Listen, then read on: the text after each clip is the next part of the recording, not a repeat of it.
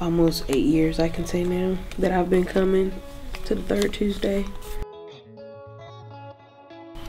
I play games, have fun, and play with my brother. I don't know, it's just something like the atmosphere is just good vibes, like nothing negative and everything, everybody's positive.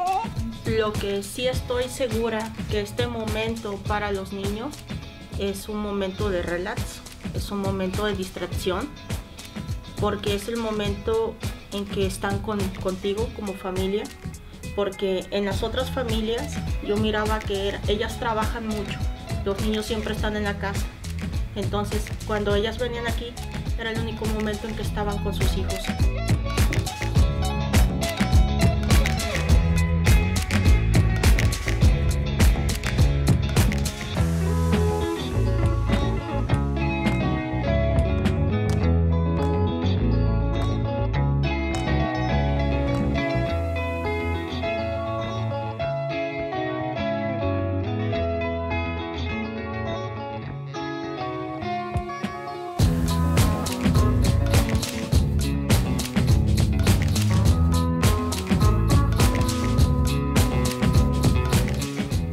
Um, it's just a good atmosphere and just to give them an outlet and they love coming too.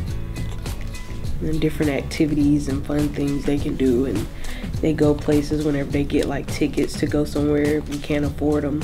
That's how they help us out. And to keep them on a good track while they're going to school.